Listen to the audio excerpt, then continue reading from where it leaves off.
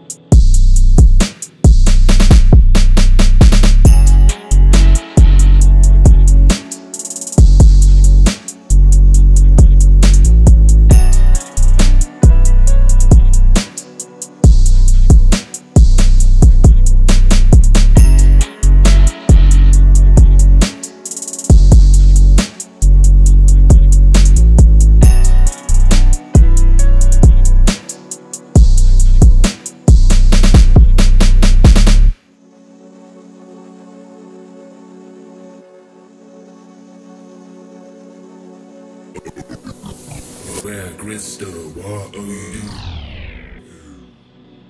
Yeah, Tony.